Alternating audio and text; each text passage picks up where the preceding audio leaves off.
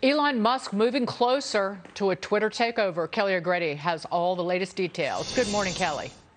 Good morning, Dagen. Yes, Elon Musk now officially has the money to buy Twitter. In a new SEC filing, the billionaire revealed he secured a total of 46.5 billion to fund his takeover offer, and that he's indeed considering a hostile tender. Now, Musk is putting up 21 billion himself. That's higher than the 10 to 15 billion he was reported to be willing to pour into the offer. The remaining 25.5 billion will be loaned by a group of banks led by Morgan Stanley. That includes a 12.5 billion loan pegged to the value of his Tesla shares.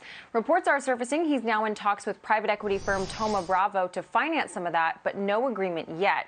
Twitter confirmed to Fox Business that it's committed to conducting a quote careful, comprehensive, and deliberate review. It gave no indication, though, as to when they'll respond.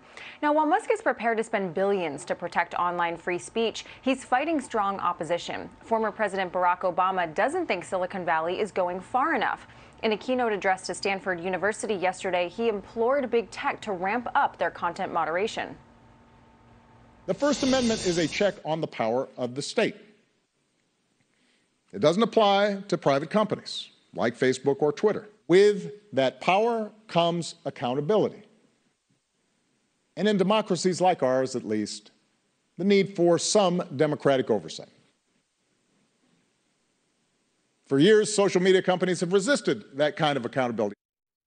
Now, Dagen, that begs the question how Elon will even enact change when facing these ideological challenges around moderation. It's no secret the attempt to regulate big tech on everything from Section 230 to data privacy is a bipartisan effort.